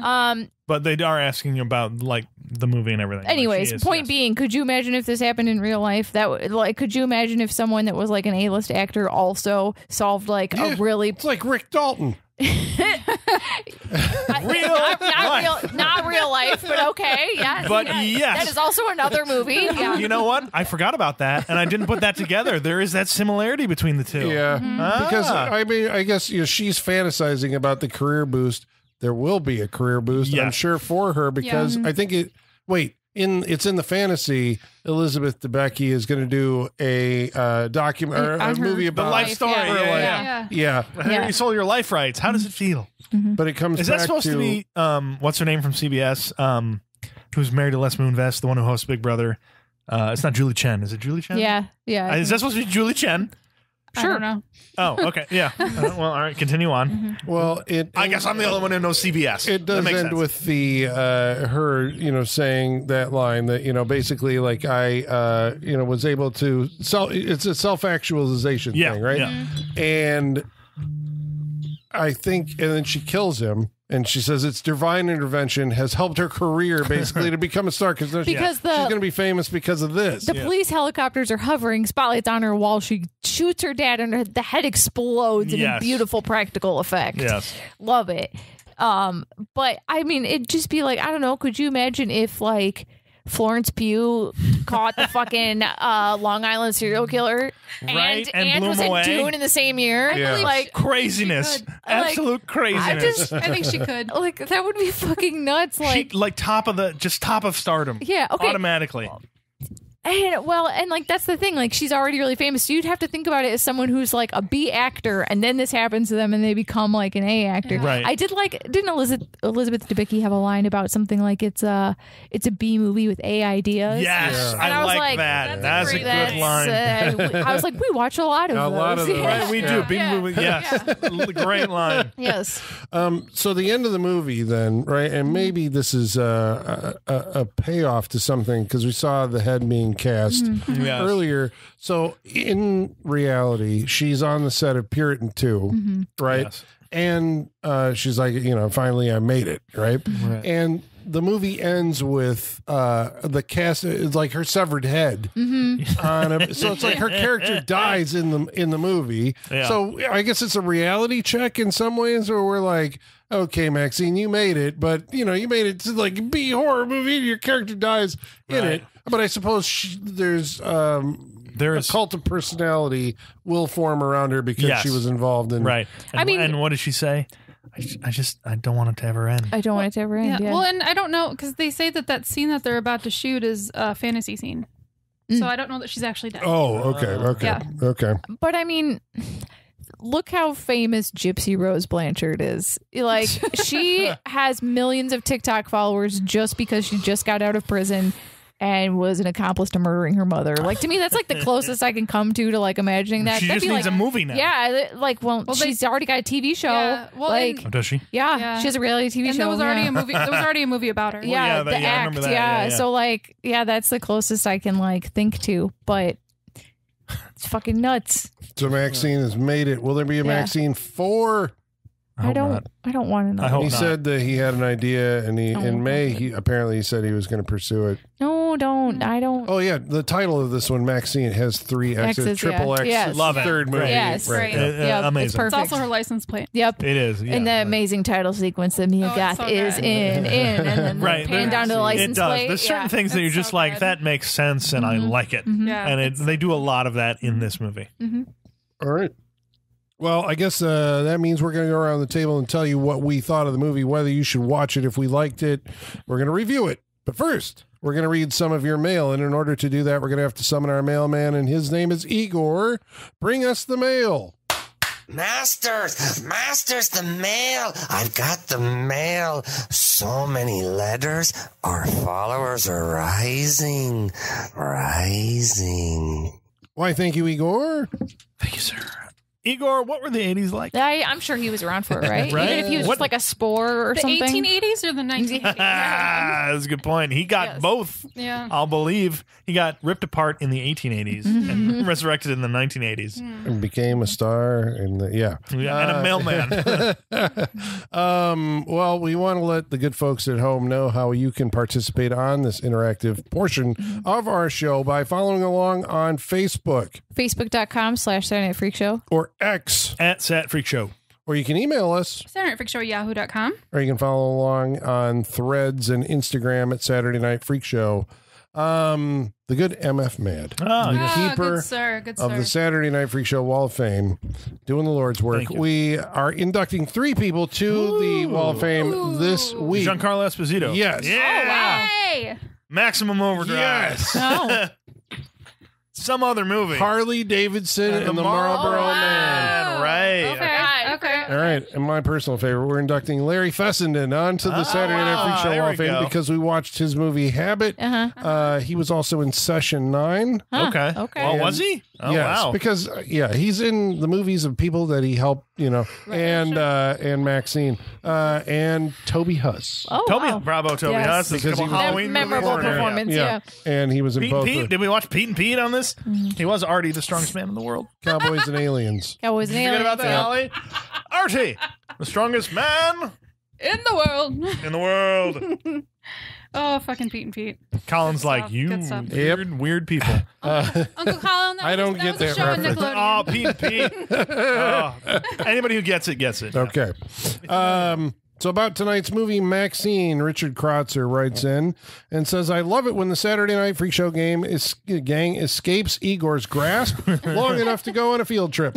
Streaming movies and playing physical media is fun and serves the purpose, but there's nothing quite like watching Mia Goth and her larger than life character yelling and screaming like a banshee up on the big screen. Mm-hmm. I feel like she does more of the screaming like a banshee in Pearl. Yeah. Yeah. Okay. That's the one where she's on Yes, the edge. but but Yeah. she's not like she has to work up to being unhinged. Okay, Like she okay. start like She it's doesn't not start at off an that way? eleven the whole time. Okay, everything. that, because that's But- that. As a, someone who hasn't seen Pearl, uh, that's the I like it vibe I than got. X. I I'm, I think I have to watch Pearl now Yeah. based on mm-hmm. Yeah. seeing X and this mm-hmm. and all that. So I'll watch. I need it. to rewatch it. But if mm-hmm. I'm, whether we recommend this movie or not, being that it's like Hollywood based, you should see it in the theater. there you yeah, go. yeah, yeah. Uh, Michael Whitaker says, "Yay, another field trip! I started watching X the other day. Note to self: wait until the kid goes to bed next time." Yep. Since the downturn, in Same comic for book this one. Since the downturn in comic book movies, I've really been looking for something I can get excited for to see in the theaters again. But I've also been saving my money to see movies in the drive-in more, and I have a feeling this one's not going to play the drive-in. That's too Oh, I bad don't because it know. Too would bad. be a Yeah. good drive-in movie. That's Yeah. a I haven't bummer. been to the drive-in in forever. Yeah. Yeah. Uh, Because it's all kids movies now. I now. know. It's dumb. And they have playgrounds and those. Yeah, it's a different place. It's not like the drive-ins of the '80s. am I right? Right, yeah, Um, like in Blood Rage, where people just got fucking murdered. Yeah. and selling condoms in the bathroom. Right, yeah, exactly. Blood Looking at you, porno Ted drive-in theaters Yeah. back Yeah. in the 80s. Um, Steve Carney says Maxine was good, not quite as good as X, but I liked it more than Pearl. That's for damn sure. I love the freak show field trips. Isn't it nice to get out of the basement every once in a while? It is. It is. Although I'm sure Igor isn't too pleased if he can't come with you to the movies, or maybe he likes it when you let him watch whatever in the home theater. They would have let him in this theater because it was mostly us, just us Yeah, for most of this go. growing. Two other people there. Yeah, and I was the only person in the theater for like the first 20 minutes. Uh, so I was just hitting my vape pen. Yeah, because I think I saw it on a Friday night. Yeah. There wasn't a whole lot of people Yeah. there. Uh, Jacob Law says, absolutely love this movie. Favorite of the year so far. I love the way it looks. Mia Goth is amazing, and Giancarlo Esposito and Kevin Bacon are great in their supporting roles. The soundtrack is amazing with Welcome to the Pleasure Dome playing during the nightclub sequence. That's the song by Yeah. Frankie Goes to Hollywood. That's such a great song. Uh, Kryptonian Orphan says, For the love of God, would you guys contribute to my GoFundMe account to help me pay for Mia Goth's eyebrow transplant?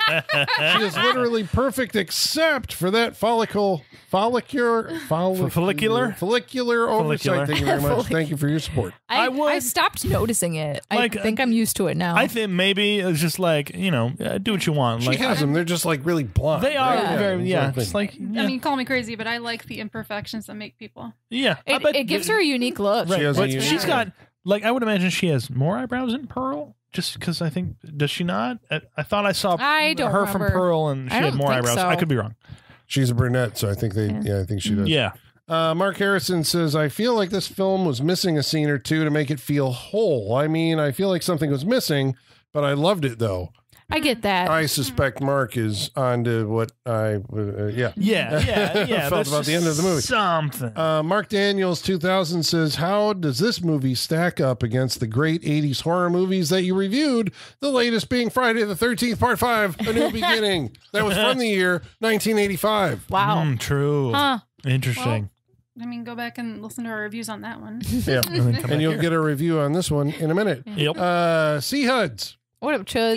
Juds. Says with Maxine, Love Lies Bleeding, Poor Things, and Long Legs, Kind of Kindness, The Substance, all looking good. Is this the best year for indie horror or horror adjacent movies in some time? I think this is. I a- They're doing pretty good. I think This we're is- going to look back on this year as a magic year, I think this is going to be a good year for movies. Mm-hmm. pretty good. I think so. which is kind of crazy considering everyone is so worried about the wi- the writer's strike and the pandemic and there being nothing to watch, and yet we have like I think maybe all they're of stuff indie right now. movies, right? Yeah. The well, I think maybe Yeah. they they um, thrive in situations like this. Yeah. Because they're scrappier and they don't, you know. oh, is it like okay? Hollywood's buying them because we need, s- you know. Right. They're making them against Hollywood and they're just like, we'll take it. We'll buy it. We'll put it on. it- It's gonna sound terrible because it's people's jobs, but like, is it like you know when you have to like burn down a prairie to control it and like give it a fresh start, There- right? I mean, there is something Is to that, that, kind of yeah. what is happened with like the movie industry? Is that like having a writer's strike and a pandemic kind of like burnt out all the dead undergrowth, and now like the It, good it can stuff's do that. through? It can motivate people Yeah. a lot more. Yeah. Like, or, or, or people can see it as a, the, like an opportunity. Yeah. Like the, to those who don't normally get those opportunities. Like we, uh, we have this chance to make something and get it out there because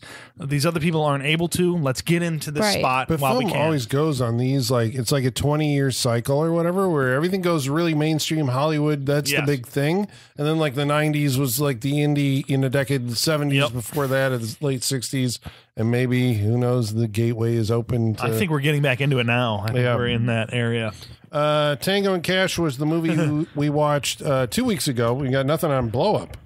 Oh. That, that episode just came out for, for you folks at home. it did. But uh, Tango and Cash, uh, Travis Legler wrote in and said, "Fun fact: Jack Palance was hired to be in Batman because he was the only actor the producers thought could be the boss of Jack Nicholson. Yeah. and Nicholson might see as a valid threat in that movie. That makes sense. That- True or false? legit. There you go. That makes sounds sense. sounds right. like it.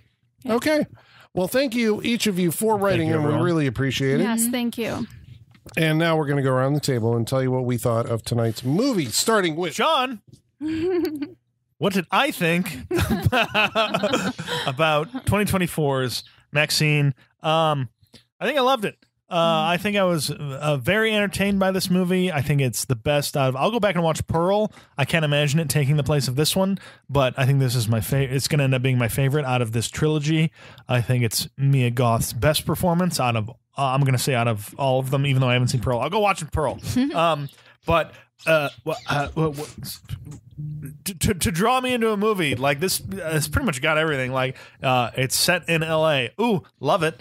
Uh, it's set on the back lots of Hollywood. Oh, count me in. Uh, like it, it's it's just it's in the eighties. Oh, okay. Twist my arm. Like it, it's got so much. It's a horror movie. Um, it's it's it's a giallo there for a minute. Um, it's it's um, just it's I really, I, I really, the, the the score or the soundtrack really So good, good. Like really, Yeah. not only really good, but really good in moments where it needed to be good. I keep Mm-hmm. going back to the St. Elmo's fire key punching scene. Kevin Bacon loved it. Um, So good. uh, I, is it Laura Branigan sing self control? I said Pat I have no idea. Okay. I probably. I don't think there's Pat Benatar, No, but yeah, I it's don't Laura think- Branigan. I don't think it's Pat Benatar in this movie, but uh, like uh, every actor doing great. Uh, Mm-hmm. Giancarlo Esposito, love you. You're doing wonderful things in this movie. Kevin Bacon is is at his sleaziest, drawliest best in this. Again, he's got so much of this.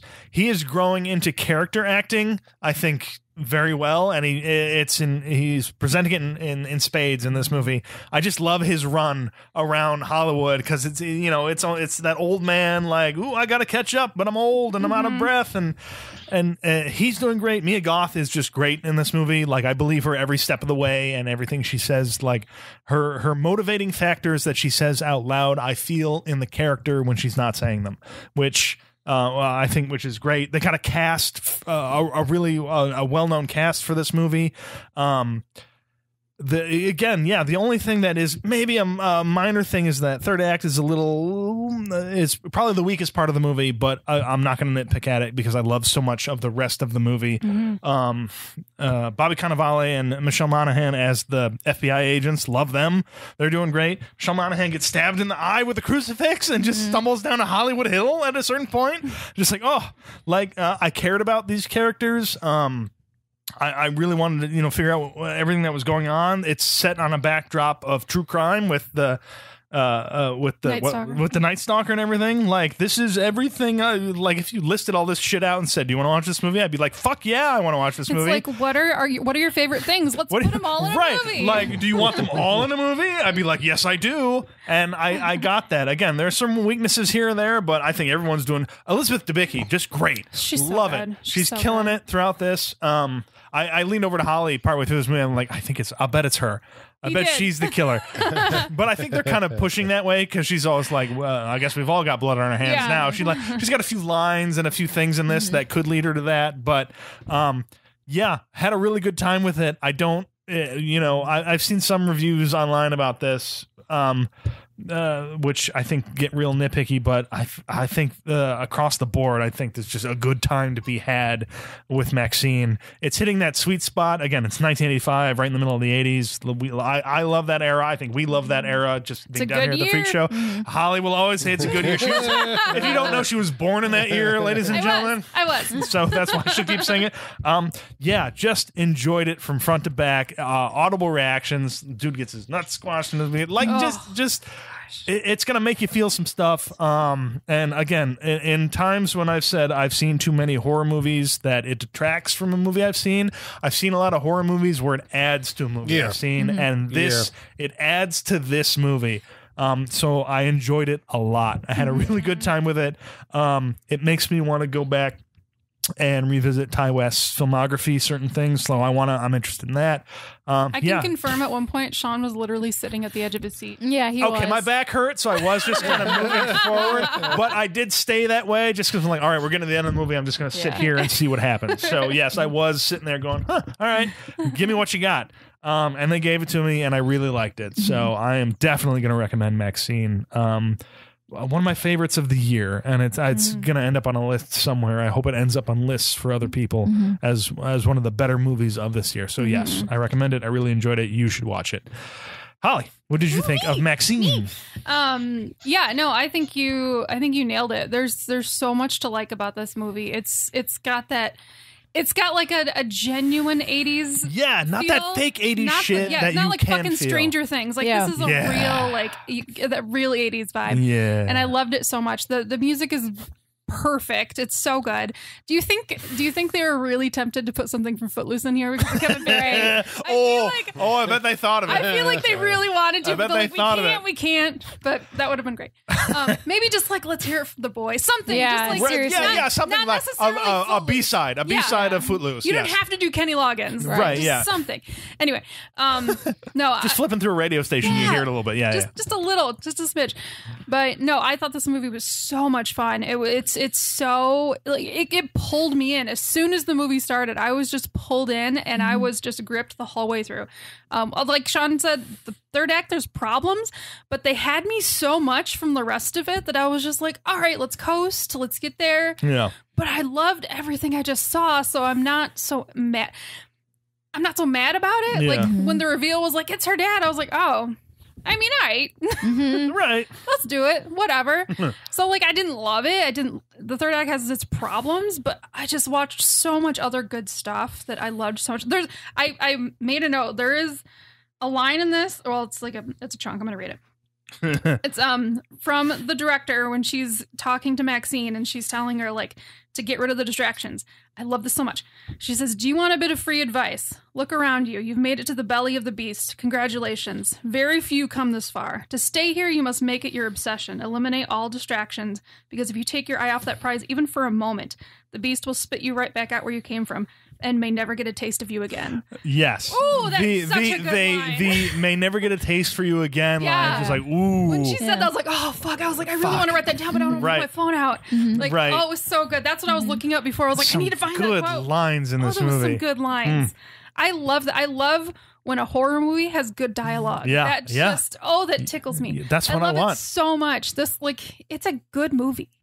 Like it is a good movie. Like there's schlock, there's there's an homage to so many different horror like geniuses. I mean, we've got Hitchcock references. There's there's Giallo vibes all over the place. Like it's just it's so it's such a love letter Hmm. to Hollywood in the 80s. And it was it was so good. I loved it so much. So I'm going to forgive the third act and say it's fantastic and you should definitely see it. Colin, what'd you think?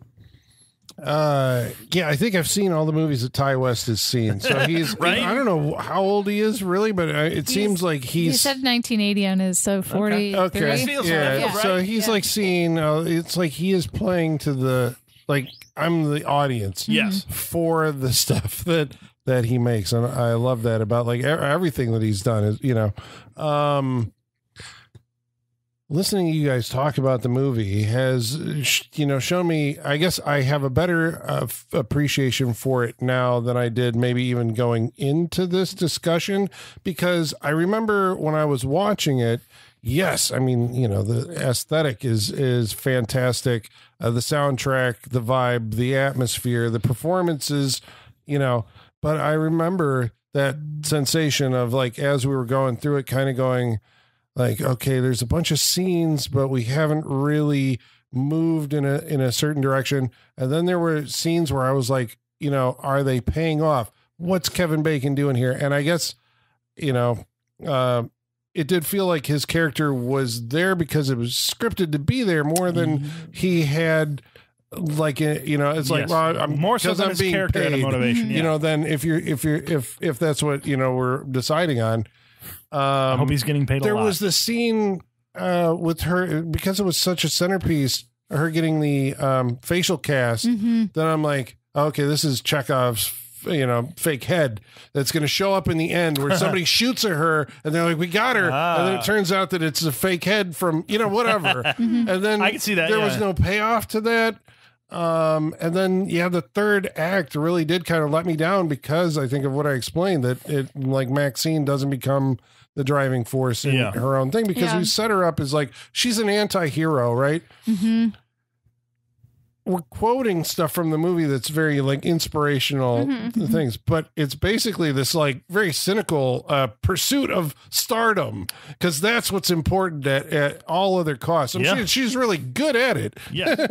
but it's like you know i guess maybe that's what you know Ti West has been going with with all three of these movies it's like that pursuit of becoming somebody you mm-hmm. know and it doesn't matter what wreckage you lay it, it well, that's the in your. What, what does it do to people, and what do you do to people to get there? Yeah, yeah. Mm-hmm. But she's a badass, you know, mm-hmm. in getting that single-minded determination to uh, to get what she wants. What's that line that he says in the morgue? Like, all you girls want to be famous, but you don't realize you're more likely to be infamous or something like right that. when Yeah. he's pointing the dead body. Yeah. Yeah, yeah. Yeah. But she doesn't give a shit. No, she Yeah. doesn't. To her, it doesn't No. matter. Yeah. She's Right, like, it's not she's- me. Yeah. Right, and she got herself this far. and she's Right. like, I did it, mm-hmm. so I will keep going. Ultimately, I like the movie. Yeah. Uh, you know, the the problems that I have with it be damned. I think the cumulative effect of it was uh, uh, better than Yep. the uh, the the negatives, and I was actually kind of surprised because I, I haven't read on this one anything. Uh, maybe the critics are, were fond of it. There I was have, you were- yeah, you I were- have no idea into what it. anybody thinks Michaela of this was movie. telling me that like there were a bunch of a lot of people are disappointed. Okay, Yeah. so Yes. I'm curious to hear. yeah, a lot of people about call that. it messy as well, Well, as what I've heard. Yeah, Um, we'll, I'll get into it. Yeah. You know, So- I'm so- gonna I'm gonna pin it on that. The fact that she isn't the author of her own the ending of the so. movie, Yeah. they feel in a subconscious kind of way, and that's why they're having a negative opinion of it. But yeah, uh, I thought overall. Uh, you should see Maxine. Mm-hmm. Uh, I I'm gonna I'm gonna go with I liked X the best. Maxine two, and then Pearl. Okay. Mm-hmm. Okay. Michaela, you want to take us home? let's talk about managing expectations. um, because I saw two movies this weekend. I saw Maxine for a second time. I saw Longlegs, and both these movies, the hype train has been building for what a year. Yeah. Yep. A year. It's been a while. Let's yeah. stop doing this. Let's stop setting ourselves up for failure, and let's just maybe be like, I'm going to have a good time at the movies. End of story. Um, I feel like that's how I've been going to the movies lately. Yeah. I'm like, it's working. yeah, That's I, like- that's what I've been trying to do. Yeah. Ignore everything because before that I've been like I'm going to read up on everything before I go into this minute. I'm trying to Yeah. ignore shit. um, and I Take see the movie as it is. yes, see that's a- what I'm trying to That's do. That's what you got to do. I see a lot of the same reactions to Longlegs that I'm seeing to Maxine is that they're disappointing because people because like I mean especially with Longlegs it's been like it's the scariest movie since X or whatever you know like the pull quote uh, Yeah, machine for yes. both of these movies has not helped and it didn't help that like I feel like the internet was following the making of Maxine every step of the way too being like Ti West starts shooting this week and then this Right. it's like guys let's just like forget about it for a little bit and then when the movie's done we don't like when you have to know everything about every step of the movie leading up to it, you've it's like you've already watched it, so your expectations in a certain place. and we know? get that a lot with movie news and everything. Too much Like, I'm- information. right. I'm guilty of it myself, Yeah. just following everything Right. and wanting to know about all this Right. stuff. Like, yeah. Mhm, And so manage your expectations and maybe you'll have a better time because I feel like for me like I this third act does have problems and I think you guys nailed it when you said it's cuz her agency is completely taken away which is Yeah. frustrating because Yeah. it doesn't match up with that character. Yeah. I agree. I think that's the most valid criticism of this movie Yep. and I think that you know it is annoying that it's a relative because it's always a relative. But when you think about this movie, it's like, The well, all the other characters are dead, Yeah. so who else could it be? You know, Right. um, the thing is, as a woman, we don't get a ton of horror movies where I have characters to grab onto that aren't final girls. Mhm. And I know technically she's the final girl of X, but I like that. Like we don't have a female Freddy Krueger or a female Michael Myers. We don't have anything like that. So I have to. My Maxine is what I've got. You know, like Maxine and Pearl. Like Ti West has done more for you know Yeah. those kinds of characters in his trilogy than anything so else. cool. Yeah, she's so cool. She dresses like in a way that I feel like is attainable for me. Like I feel like I could buy the clothes from this movie and wear them. Like she feels relatable. She is not perfect. She's flawed, obviously, and like fame at all costs. And like I don't care who I have to step on to get there. But Colin, who's nuts I have to step on. who's nuts I there. have to step on. Colin, this movie, you know, we talked about Angel, and I want to go on the record saying I was wrong about Angel. It's a great movie. I should have recommended it when we watched it. But this has this uh, similar type of sleaze factor. I think this movie is La La Land for people that are sleazy, like for sleazy people. like, because it's like it's porn stars. it just needed a musical number. Yeah, yeah. Oh, but it is that's very much like the Hollywood struggle, but from the sleazy side, mm. right? That's Funny. And it's that's your pull. quote. yeah, that it's La La Land for Oh. sleaze. It's like, yeah, and it, you know, it's definitely not perfect, but it's an original story. You know, be it's it's, it's a sequel, but whatever. I don't know. I It's a dig real it. drawing on a lot of Yeah. previous stuff, but it's still, yeah. and I do like that Ti West puts his influence in the movies, but it's not like characters name checking movies. Does that make sense? yeah, sense? yes. And I'm glad Yeah. it's And not like that. that, we get body a, double sequence, if that's what it was, Yeah. was so sideways Yeah. That it's not a direct lift. Right. Right, Right. and, and the only way it gets direct is uh, is the uh, the video store character kind of name checking a few things in that, but that is Right. as far as it goes. But it God. stops after that scene. It, stops, doesn't yes. become a thing because it very easily could It have. could have. I did appreciate the the weird little nugget of her being like, "Can you tell me anything about this VHS tape?" and him naming all the brands of VHS tapes Right. and stuff. I was like, "Okay." If And he named it. I'm like, I know TDK. Right. I know. I know. I know all these names. right. I know. I could see I like collected the out- them. The I could- brown casing of all. Yeah, yeah. I could see the artwork for Yep. them, like Right. On them Yeah. when he said that. Yeah. it's no. I had a great time with it, and I, I, I kind of hate that people are dogging on it as much as they are because, like, guys, we are being fucking spoiled this year. You all shut the fuck up and enjoy it, and otherwise we might not get it again. It's kind right. of how I feel. it was like, just real bad. Yeah. Like enjoy the shit we're getting now. like, like, yeah. Why are Don't we? ignore obvious glaring flaws in movies and everything, but Right. enjoy it a little more. But it, it just feels like the internet has no room for gray area. It's either it's the best thing ever or the worst thing ever, and there's no nuance in like it was a mostly successful movie except for a few scenes. You know, it's hard to find that kind of nuance. It's okay to have nuance. I, No, I the internet is not a place for nuance. I just I don't know what people expected that were disappointed in this movie, other than like you know we talked about the issues with the third Right, act, right. But it's not. I don't know. I felt like it delivered on what the trailer told me. You know, Right. so and that's what I'm judging it against. I had a great time. I can't wait to see what Ti West does next or what Mia Goth does next. Yeah. Um, I love them together. Yeah. Yeah, it's great. Definitely recommend it. Go see it. Support movies like this if you want more of them. That's- yeah. All right, that means good. it's freak show Yeah. approved. That means That means, that means, contractually. what are you doing? Stop listening and go. Go see it. I it. think we add a fourth X to Maxine. And Yeah. that is the that The is all freak of us show right- stamp. Yeah. Yeah. All right. Well, thanks for sticking with us this long. Then uh, next week we're going to watch a movie that's chosen by. Colin. What are we watching next week? You're right. This did go long. Uh, hour and 37. That's the longest one we've done in a long Yeah. It's time. like as long as the movie. I don't know. What are we how long it is. watching next week, Colin? All right, this one's going to be tough for you folks at home because you Oh. probably can't even find Oh, this. okay. It played on TC. I thought you was just Where content wise, it's like it's gonna be Yeah. tough. Yeah. like, No, why? We've had two good weeks, man. Well, it's a movie that I found that I thought was interesting, and no one has seen it, and hopefully people will uh, Okay. try and track it down. This is the first movie filmed in Duo-Vision, but don't worry, you won't need glasses. It's called Wicked Wicked. Okay. Oh, I don't know. Never about heard of this. Yeah. I- I no don't one has heard I've of this movie Okay. unless you watch a lot of Turner Classic movies. I guess that's the only way to find Wicked. it. Okay. All right, well, we'll talk about it. From the year? 1973. Okay. Ooh, okay. All right. So that's next week on the Saturday Night Freak Show. We hope you'll join us. And until then, ladies and germs, the basement is going dark.